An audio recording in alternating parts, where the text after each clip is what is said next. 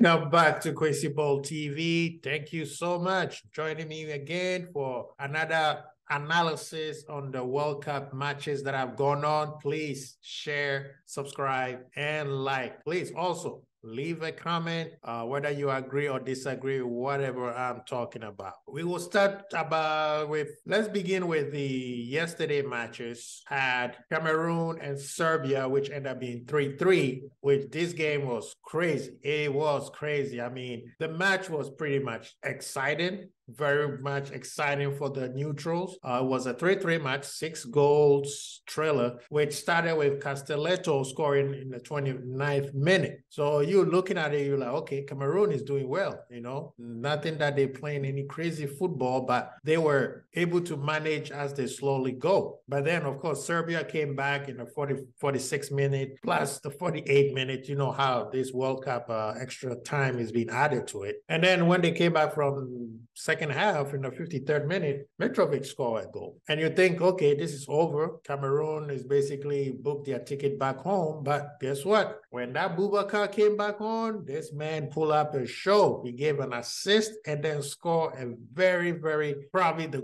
I'll say maybe the second or third goal of the World Cup because Richarlison's goal is way, way, way, way crazy. And then uh, second match was of course Ghana versus uh, South Korea, which was crazy. I mean, I have understand, and I'll talk a little briefly more about this match than any of the other rest. I just realized that how young the Ghana players are. I think they are the second or third youngest team. And now I'm understanding why they're making so many mistakes. Okay, the first match that we play against Portugal, the mistakes was kind of like, what's going on here? They lost their, their mind for like 10, 15 minutes, and then Portugal scored two goals. In this match, the first half, we basically breezed through it. We didn't have, I would say we have uh, majority of the of the ball, but when we had our chances, we took it. Two goals, you know, from Salisu and uh, Kudus. And then second half started, they made a sub and brought in a uh, song. This it was almost like identical to the Portugal match. The same around the same time, the 60, 65th minute. All of a sudden, our guys just start to lose their head, and that's exactly what I had. And they were able to score two goals. And the two goals they scored was just basically our defense and our midfielders falling asleep, and the ball just goes straight into You know, they did well. You know, you have to give it up to South Korea because after the first half, you think the match is over, but they played very well to come back. But guess what? Our guys woke up and scored another goal thanks to Kudus,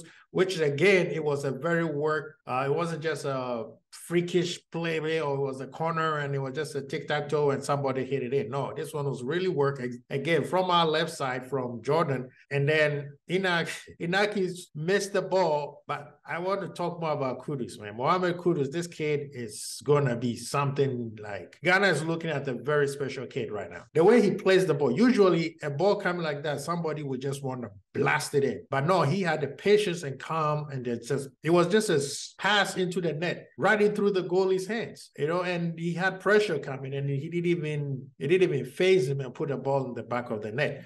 Now, after that, we were able to hold on for about 10 minutes, but during the last couple of minutes, Ghana was under a siege. I mean, Korea was just launching the balls long, long, long.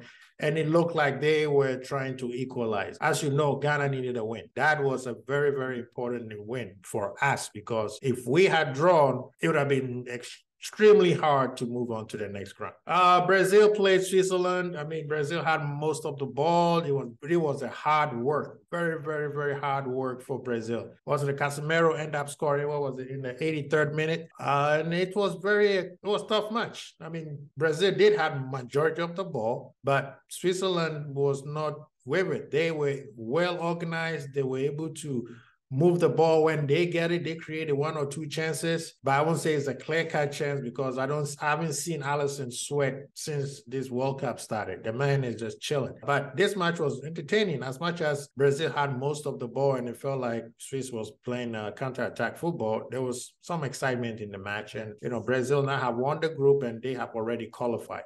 Portugal and Uruguay was highly kind of a snooze fest. You didn't even know where the goals were coming from, especially for uh, Uruguay. Suarez started and he didn't do much. All he did was no, Suarez did not start. Excuse me. Uh, Cavani is the one that started. They couldn't create any chances. A lot of times they had more most of the of the ball, but when it comes to the final third, it seems like they were just hoping for the best. You know, I think that they are doing a disservice to Nunez because it makes him look so bad. He's out there, nobody's giving him any service, and every time he gets a chance, it's like a half chance, and he can't do nothing with that. This match, I mean, Fernandes is the one who scored. Ronaldo is still trying to claim for that ball or that goal because he claimed that his hair touched the ball. Hmm, go figure.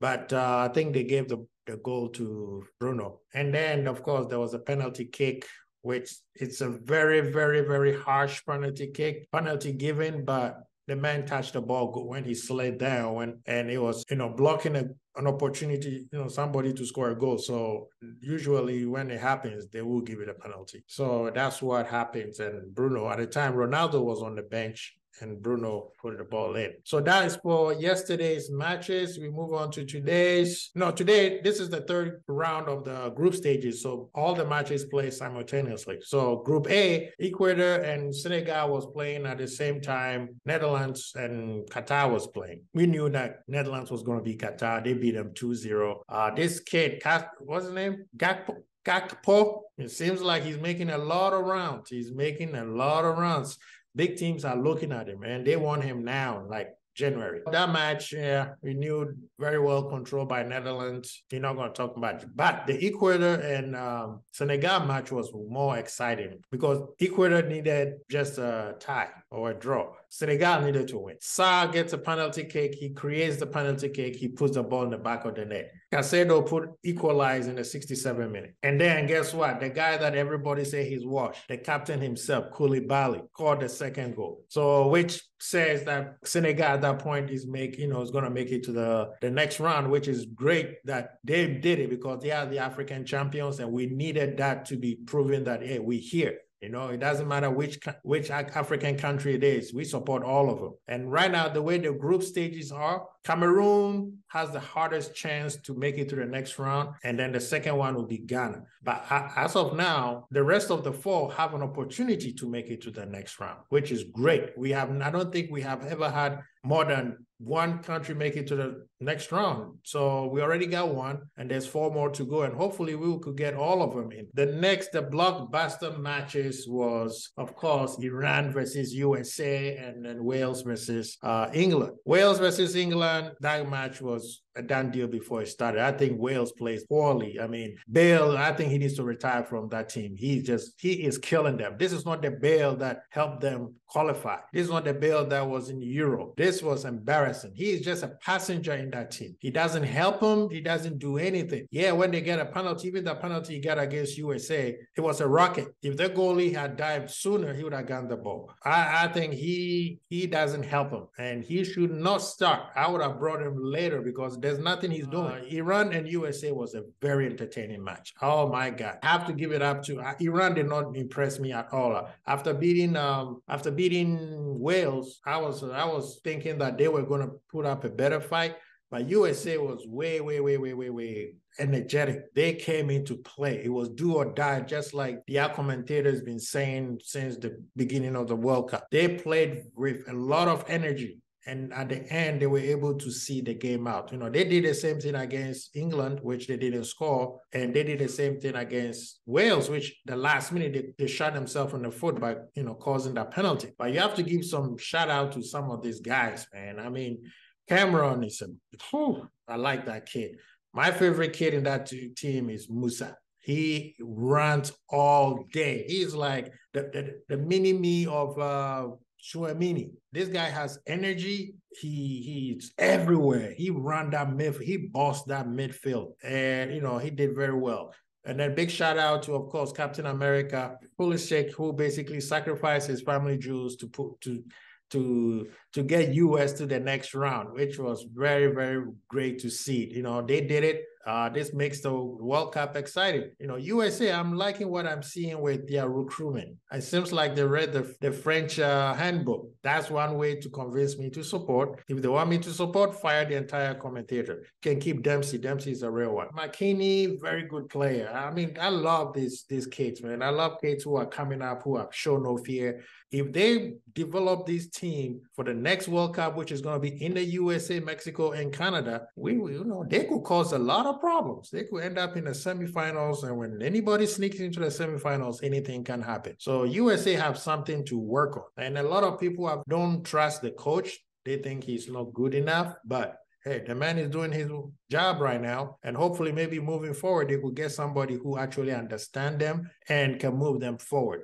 You know, sometimes these European coaches, when they come in, they, they show lack of respect, even though Klinsmann did say a whole lot of truth most of the time. You know, it's what it is. But yeah, I'm very excited. Uh, Ghana will play again on Friday versus uh, Uruguay. It's going to be a crazy match. Uh, you know how I do. I support any and every African country that is playing. And um, what do we have for tomorrow? Because big things are going tomorrow. Because Australia, Denmark, tomorrow. Tunisia, France at the same time. Remember, we're playing both uh, simultaneously. Saudi Arabia versus Mexico and Poland versus Argentina. This team, this whole group is open for everybody. Guys, thank you again. Share, subscribe, like. KwasiBOLD, Archie, Bush.